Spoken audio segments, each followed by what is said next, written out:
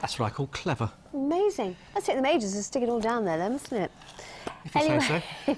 next tonight, the singing talent that has emerged at Glenfield Hospital. Tapas Mukherjee is a specialist doctor in respiratory medicine, and he has a whole new way of training medical students about asthma. Yes, it's a video uh, filmed on his smartphone where he sings his way through the advice.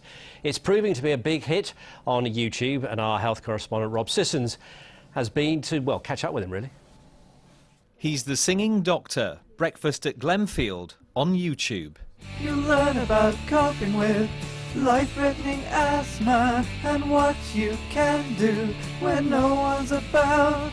Forget posters, lectures, written stuff. Tapas, a respiratory specialist, is hitting the right note, getting the latest asthma guidelines over to medical students. And the hero to the rescue. Putting them to music, a challenge. We got most of the lyrics in about half an hour. Um, the, the, the, hardest part, I think, was um, coordinating everybody to be in the same place at the same time. If the peak flow is between 33 to 50. The phone has been everything for this video, actually. It was filmed on it, and then I Facebooked it using my phone. I've been uh, on Twitter and email and so on. I thought he was a professional singer and not a doctor. It's very catchy, all the staff will really enjoy it, and the patients will enjoy it as well. I don't think we're making light of asthma. But if anything, we're trying to draw more attention to the fact that we could be managing it better.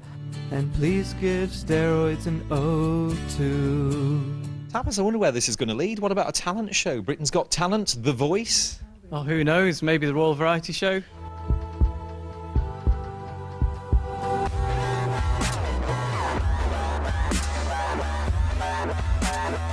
Tapas Mukherjee!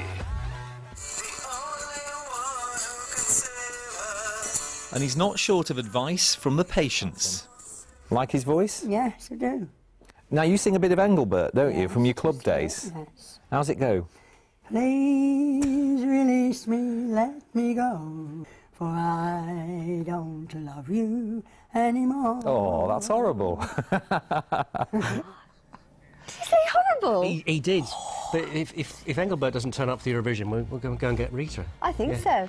What are you going to say about the Doctor? Well, you mentioned Britain's Got Talent. It should be on the X-ray factor. Oh dear, oh dear. It's Colin with sport. No, oh no, it's not. Sport is just around it's the corner. It's just around the corner. With a shock for the Stags at the highest level.